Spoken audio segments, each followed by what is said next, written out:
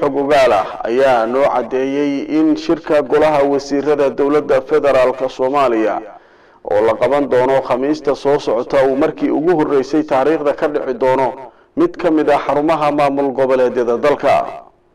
Warkan ayaa waxa uu intaa ku darayaa in golaha wasiirada iyo ra'iisul wasaaruhuba ay u dhoofi doonaan xarunta maamul goboleedkaasi iyagoo halkaa shirka uu ka dhici doono waa markii ugu horreysay taariikhda golaha wasiirada dowladda federaalk soomaaliya ay si rasmiya ugu shiraan meel ka baxsan magaalada muqdisho.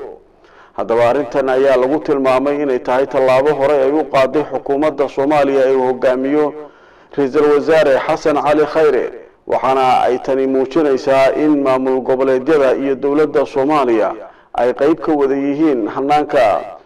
hore loogu wadayo dowladnimada soomaaliya tallaabadani ayaa sidoo kale waxa ay haddii ay hirgasho muujin doontaa in dowladda soomaaliya ay markaasi ku shiri karto meel walba oo ka tirsan dalka soomaaliya iyadoo horey looga bartay xukuumadihii dalka soo maray in shirarkooda golaha wasiirada inta badan lagu qabto.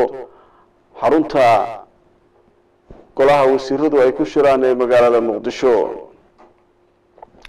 dadweynaha magaalada muqdisho ayaa siyaabo kala duwan u soo dhoweeyey qaabka loo taakuleynayo ciidanka.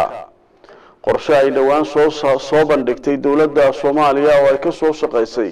ayaa durbaba hirgalay iyadoo iminka la sheegayo lacago fara badan in ay ku dhacayaan akownadii loogu talagalay in lagu taageero ciidamada qalabka sida.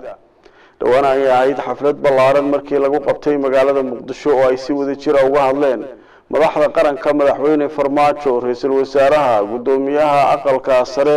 iyo mas'uuliyiin kale iyo dadweyne iyadoo lacaga loogu yaboohayay ciidanka qalabka sida ee soomaaliya. Waxaana la magacaabay guddiga taakulaynta ciidamada qalabka sida